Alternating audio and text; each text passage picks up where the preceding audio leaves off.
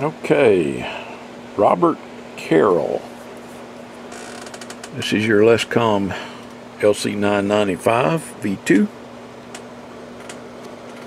See, it's got the Schottkys, uh, all six of them.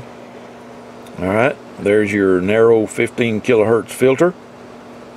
Uh, replaces the 25 kilohertz filter. I've done the receive upgrade. I've also done the uh, transmit upgrade. All of these are the FPQ 13N10s. There's the old uh, 520s right there. Uh, upgraded your buffer for your voltage regulator to a 3300 microfarad. Did the same thing for the input buffer for your power. Uh, you now have a 3300 microfarad there. Okay, and I set the voltages for all these guys.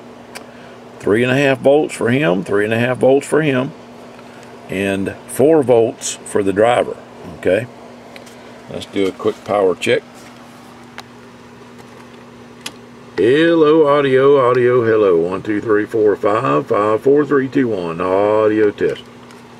We're on that bottom scale.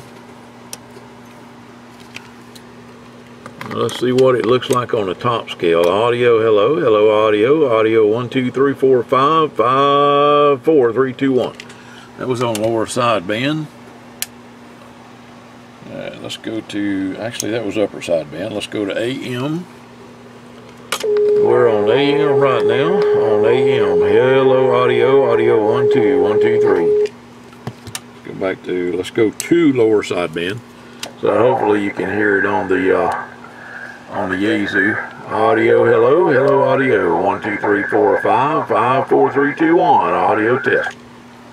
See, it's doing about 30 watts RMS and uh, uh, roughly about 55, 57 watts uh, peak on sideband. Okay. All right. More to come. Okay, let's do a shot of the modulation. I've got my B&K set on two-tone. And let's see. Of course, as soon as I go to film it, it goes out of sync. Hang on a second.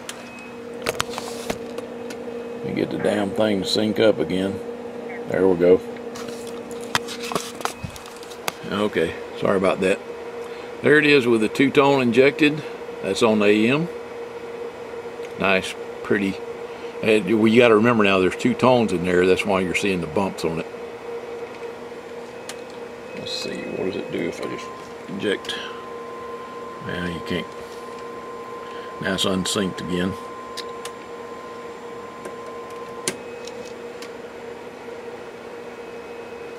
Okay. And if I talk into it, audio, hello, hello, audio, audio, one, two, three, three, two, one, audio. That was on the AM. I'm gonna switch to sideband. Hello, sideband, audio, test, test, audio. Back on the two-tone, what you want to bet it unsyncs again. No, it stayed in there. Okay.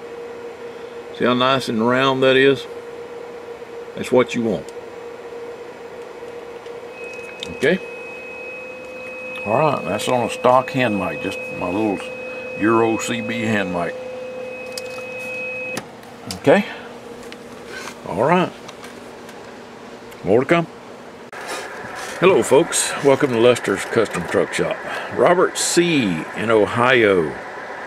Here's your Lescom LC995 V2 Custom. Let me turn down that monitor radio.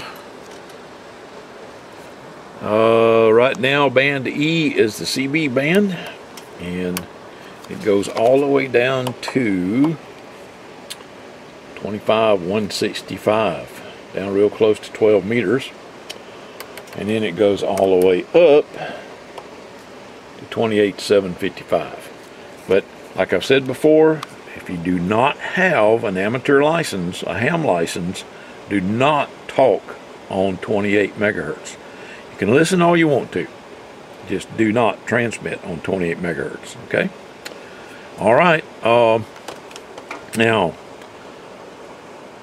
Well, everything is pretty much self-explanatory, and I've already showed you the uh, the output power. Let go back to the CB band.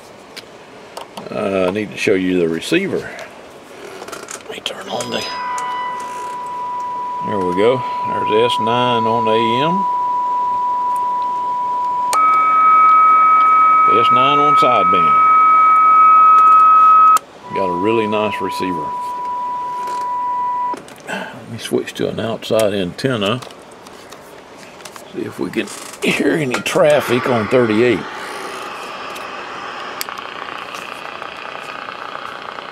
Yeah, not much.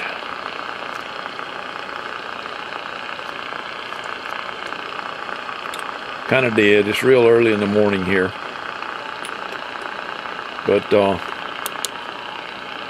I hear something way off in the background. It might help also if I centered up the clarifier.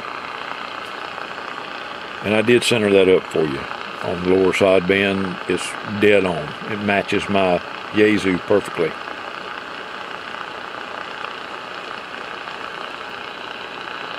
Okay, well, looks like we're not going to hear anything. So, Robert, I sure hope you enjoy your new radio. It was my pleasure to build it for you. 73s, everybody.